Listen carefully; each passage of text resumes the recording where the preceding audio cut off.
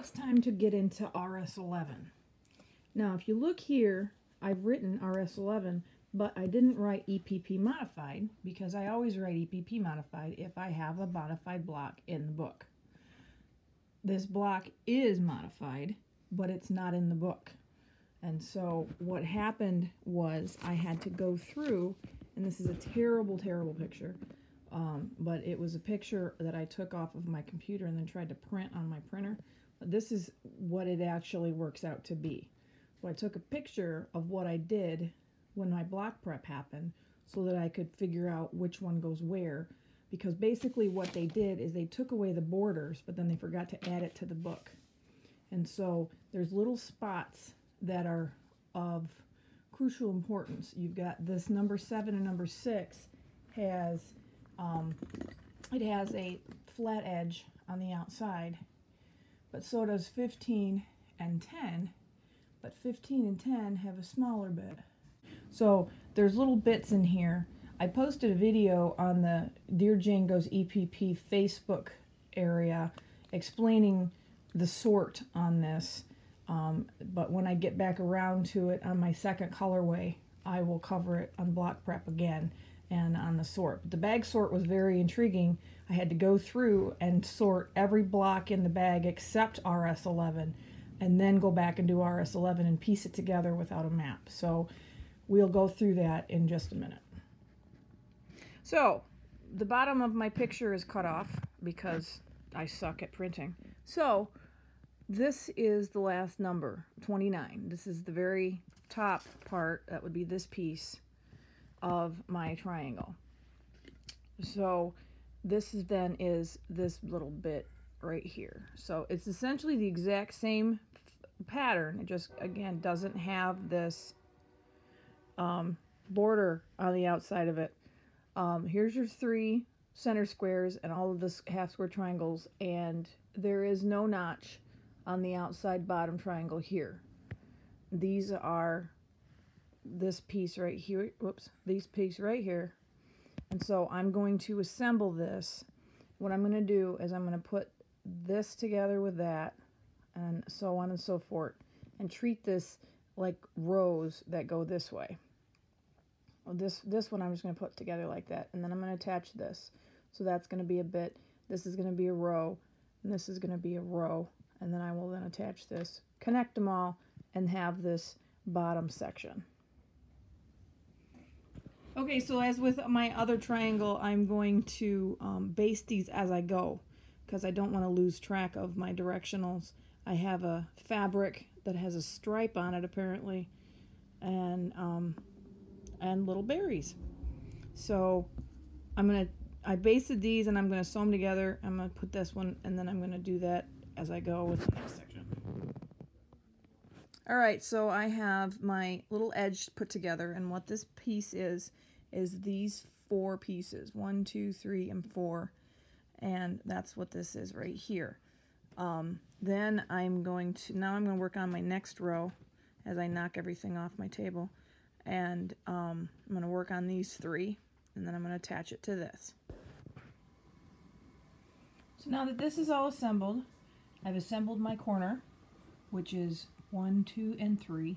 I'm going to put this piece on to the side of this after I baste it, and then I'm going to take this whole unit and attach it to this. Alright, so I got my whole middle, or the whole bottom section of piecing ready to go. So this whole bit, keep in mind this, this actual border is not actually there, but this whole section is completed right here. So this is going to go like so. Let's turn it right side up. All right. And then this is the bottom bottom section of it. Okay. So I'm going to connect this to there. And then the one above it, the band above it, is right here. So I've got this band here, this band here, this band here. So let me get these three pieces put together and then I can lay out my next pieced band. Okay, so I've added my bottom band and I started from one end and I went to about here and tied off and then I started from the other end and did all the way across. And I'm going to do the same thing with this piece. Alright, so I got all this pieced all well together. So I'm going to go back and refer to my crappy picture and I have my eight I numbered my next band my number eight piece. So anything between row or piece number eight and this is 17 so piece 8 through 16 I'm going to pull out of my pile and um, arrange here's my pile of bits and arrange in and so that I can um, do my next piece section. Okay so here's the bits number 8 through number 16 and this is why numbering is so important. Um, 10, 13, and 15 look exactly the same as 12. In reality, 12 and 13 are the same, but if you look really closely at number 10, it's got this little tiny flat edge on the left, and if you look really closely at 15, you've got this little tiny flat edge on the right of 15, and that's the edge of the triangle. So that is what lines up to this point. That makes basting a little interesting. So when you baste it, you have to, I'm going to fold this in first on this side before I do these sides to make sure I know where this little flat bit is. And it helps dial in the, um, the outside angle. So, and then as with the last one though, I'm going to assemble this in the same way. I'm going to assemble this in one group and then this in one group. So I'm going to do this to this, this to this, add this to these two, and then add this to make this unit. Add this to this, add this to this, and then this to this unit, and then join the units to then form my middle section here, which is a lot easier seen here. So this is what I'm doing right here. With Got these two bits done. I got this, which is this bit. Oops which is that bit right there. And then this is the bit next to it. So I'm going to connect those two. And then I'm going to put the bar that goes on top of it. I'm going to connect them. So I'm going to put this piece connected to this piece, oops, at the points of the square, here-ish. And then this will be on top and then this will connect to the rest of my triangle. Okay, so I taped this. I haven't stitched I haven't stitched this yet, but I wanted to show you um, on the edges. The edges have that one bit that folds over on the, the one flat bit, which is this part right here. And the reason it doesn't line up quite well on this one is because when I folded this on this triangle, when I folded this one, because this is so little, it ended up being a little higher. So I had to feel around for the paper. Once I attach my solid triangle, I can smooth this out. Um, I did a little better here, but not much. So it's fine as long as you get it close. But I just wanted to point that out that this does not go to the edge. This is where that flat bit is.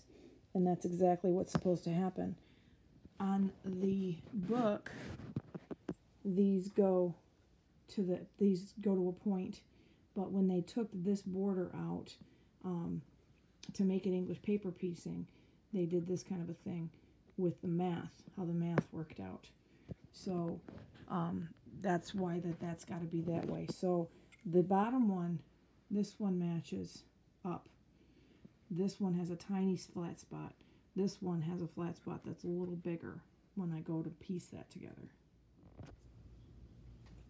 Okay, so I've got all of this pieced into one giant piece and I just have the top portion to do. So again, this is not on there. This has been eliminated and so we're just going to do this tip part of it which I've laid out here. So if you see I've got this, my number six has this bigger flat side, and my number seven also has that. So I will base this in first, and then I will do this side so that I can make sure that I get this angle as accurate as possible. And then I will take this piece to this piece and then put it on that and then I will add these and then I will take this unit and connect it to this unit connect it to this unit thus finishing my top. And then once that's done I will finish by putting it on the top of my triangle. Okay so I got my tip assembled.